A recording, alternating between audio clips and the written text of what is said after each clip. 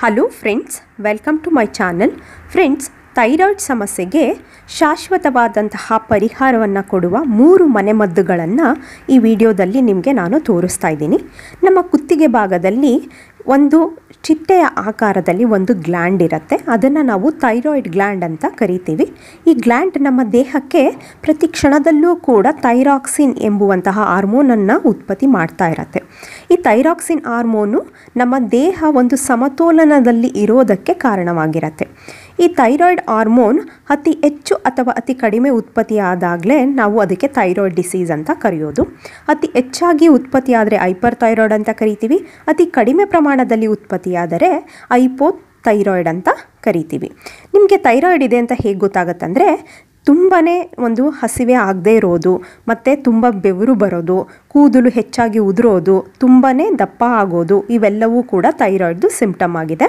ಹಾಗಾದರೆ ಈ ವಿಡಿಯೋದಲ್ಲಿ ಒಂದಲ್ಲ, ಎರಡಲ್ಲ, ಮೂರು ಸುಲಭವಾಗಿ ಮನೆಯಲ್ಲೇ ಮಾಡಿಕೊಳ್ಳುವಂತಹ ರೆಮಿಡೀಸ್ಗಳನ್ನು ತೋರಿಸ್ತಾ ಇದ್ದೀನಿ. ಹಾಗಾದರೆ ನಮ್ಮ ಮೊದಲನೇ ರೆಮಿಡಿ ಹೇಗೆ ಮಾಡ್ಕೊಳ್ಳೋದು ಅಂತ ನೋಡೋಣ ಬನ್ನಿ. ಈ ರೆಮಿಡಿಯನ್ನು ಮಾಡೋದಕ್ಕೆ ನಿಮಗೆ ಕೊರಿಯಾಂಡರ್ ಸೀಡ್ಸ್ ಬೇಕಾಗತ್ತೆ. ಅಂದರೆ ಕನ್ನಡದಲ್ಲಿ ಇದನ್ನು ಕೊತ್ತಂಬರಿ ಬೀಜ ಅಂತ ಕರಿತೀವಲ್ವ? ಆ ಒಂದು ಕೊತ್ತಂಬರಿ ಬೀಜವನ್ನು ತೆಗೆದುಕೊಬೇಕು. ಈ ಕೊತ್ತಂಬರಿ ಬೀಜವನ್ನು ನಾವು ಇವಾಗ ಅತಿ ಸಣ್ಣಗೆ ನಾವು ಅದನ್ನು ಕುಟ್ಕೊಬೇಕಾಗತ್ತೆ. ಯಾಕಂದರೆ ಅದು ತುಂಬ ಎಫೆಕ್ಟಿವ್ ಆಗಿ ವರ್ಕ್ ಆಗಬೇಕು ಅಂದರೂ ಅದನ್ನು ನಾವು ಅದನ್ನು ಎರಡು ಭಾಗವಾಗಿ ಮಾಡ್ಕೊಬೇಕು ಆ ಬೀಜವನ್ನು. ಅದಕ್ಕೋಸ್ಕರ ಇಲ್ಲಿ ನಾನು ಕುಟ್ಟೋ ಕಲ್ಲನ್ನು ತಗೊಂಡು, ಒಂದು ಅರ್ಧ ಬಟ್ಟಲಿನಷ್ಟು ಕೊತ್ತಂಬರಿ ಬೀಜವನ್ನು ತೆಗೆದುಕೊಂಡು ನಾನು ಈ ರೀತಿಯಾಗಿ ಕುಟ್ಕೊಳ್ತಾ ಇದ್ದೀನಿ. ನೀವು ಒಮ್ಮೆಲೇ ಒಂದು ನಾಲ್ಕು, ಐದು ಏನೋ ಬೌಲಷ್ಟು ಕೊತ್ತಂಬರಿ ಬೀಜವನ್ನು ಒಟ್ಟಿಗೆ ಕುಟ್ಕೊಂಡು ಒಂದು ಏರ್ ಟೈಟ್ ಕಂಟೈನರಲ್ಲಿ ಸೇವ್ ಮಾಡಿ ಇಟ್ಕೊಂಡು ತಿಂಗಳ ಅನ್ನೋ ತನಕ ನೀವು ಯೂಸ್ ಮಾಡಬಹುದು. ಇಲ್ಲಾಂದರೆ ಫ್ರೆಶ್ ಆಗು ಕೂಡ ಮಾಡ್ಕೊಬಹುದು. ನೀವು ಕೇಳಬಹುದು, ಕುಟ್ಟೋಕಲ್ಲೇ ಏನಕ್ಕೆ ನಾವು ಮಿಕ್ಸರ್ ಗ್ರೈಂಡರಲ್ಲಿ ಅದನ್ನು ರುಬ್ಕೊಂಡ್ಬಿಡ್ತೀವಿ ಅಂತ ಹೇಳಬಹುದು.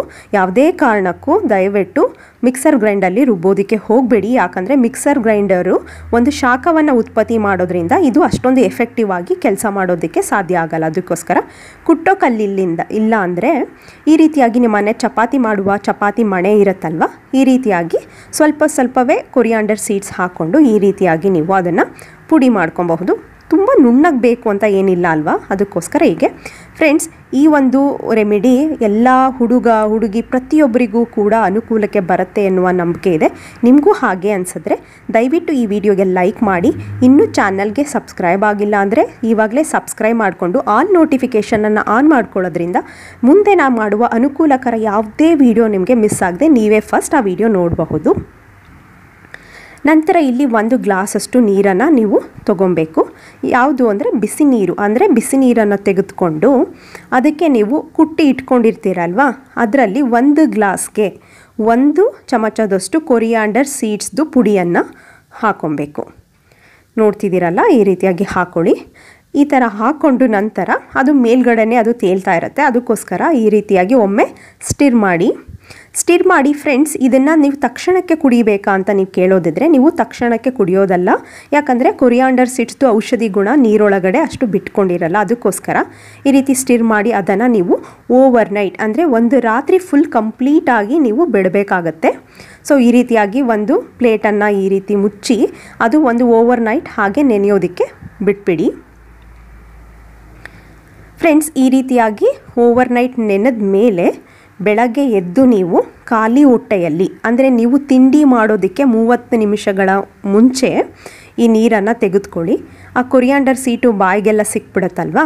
ಸೊ ಅದಕ್ಕೋಸ್ಕರ ಒಂದು ಫಿಲ್ಟರನ್ನು ತೆಗೆದುಕೊಂಡು ಈ ರೀತಿಯಾಗಿ ಶೋಧಿಸ್ಕೊಳ್ಳಿ. ನೋಡಿ, ಶೋಧಿಸ್ಕೊಂಡ್ಮೇಲೆ ಸ್ವಲ್ಪ ಹಳದಿ ಬಣ್ಣದಲ್ಲಿ ನೀರು ಬಂದಿರುತ್ತೆ. ಈ ನೀರನ್ನು ನೀವು ಮುಂಚೆನೇ ಹೇಳ್ದಾಗೆ ತಿಂಡಿ ತಿನ್ನೋದಕ್ಕೆ ಮೂವತ್ತು ನಿಮಿಷಗಳ ಮುಂಚೆ ಖಾಲಿ ಹೊಟ್ಟೆನಲ್ಲಿ ಕುಡಿಬೇಕು. ಒಂದು ದಿನಕ್ಕೆ ಒಂದು ಸಲ ಕುಡಿದ್ರೆ ಸಾಕು. ನಮ್ಮ ಎರಡನೇ ರೆಮಿಡಿ ಯಾವುದು ಅಂತ ನೋಡೋಣ. ಫ್ರೆಂಡ್ಸ್, ನಾನು ಅವಾಗಲೇ ಹೇಳಿದೆ ಅಲ್ವಾ, ಥೈರಾಯ್ಡ್ ಹಾರ್ಮೋನ್ ಅನ್ನೋದು ನಮ್ಮ ಈ ಕುತ್ತಿಗೆಯ ನಾನು ಇಲ್ಲಿ ತೋರಿಸ್ತಾ ಇದ್ದೀನಲ್ಲ, ಈ ಭಾಗದಲ್ಲಿ ಇರುತ್ತೆ. ಈ ಒಂದು ಥೈರಾಯ್ಡ್ ಗ್ಲ್ಯಾಂಡ್ ಅನ್ನೋದನ್ನು ಕಂಟ್ರೋಲ್ ಮಾಡೋದು ಬಂದು ನಮ್ಮ ಮೆದುಳಿನಲ್ಲಿ ಇರುವಂತಹ ಪಿಟ್ಯೂಟರಿ ಗ್ಲ್ಯಾಂಡ್.